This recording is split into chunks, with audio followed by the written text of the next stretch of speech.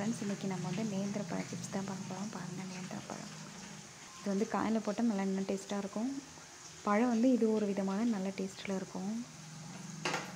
இப்போ நம்ம நேந்திர பழத்தை உரிச்சு எடுத்து வச்சுக்கலாம்.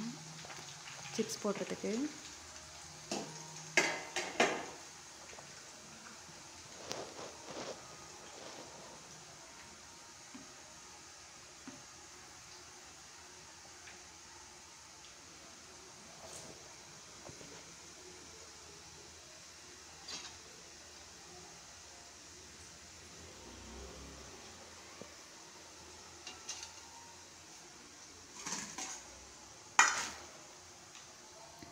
பாருங்கள் நேந்திர பழத்தை உரிச்சு எடுத்து வச்சாச்சு.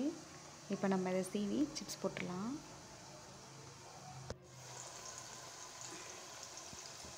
இது வந்து தேங்காய் எண்ணெயில் தான் போடணும்.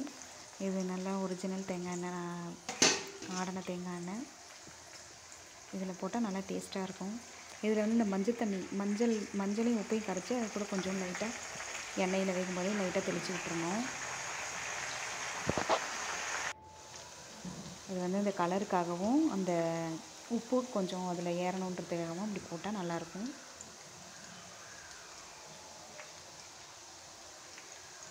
இப்போ இது ஓரளவுக்கு வெந்துடுச்சு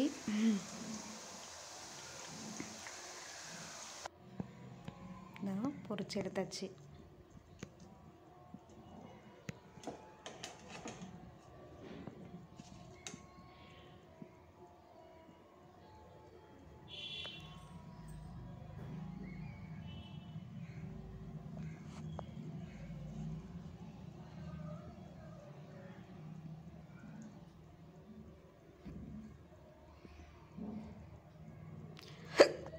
அவ்வளோதான் ஃப்ரெண்ட்ஸ் இது காயில் போட்டது. இப்போ வந்து நம்ம பழத்தில் போட்டோம்னா இந்த கலரில் தான் இருக்கும்.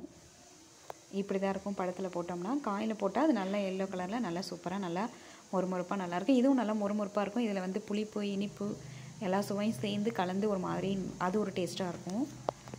பாருங்கள் நீங்களும் ட்ரை பண்ணி பாருங்கள் ரொம்பவே நல்லா டேஸ்ட்டாகவும் இருக்குது. நல்லா மொறுமொறுப்பாகவும் இருக்குது.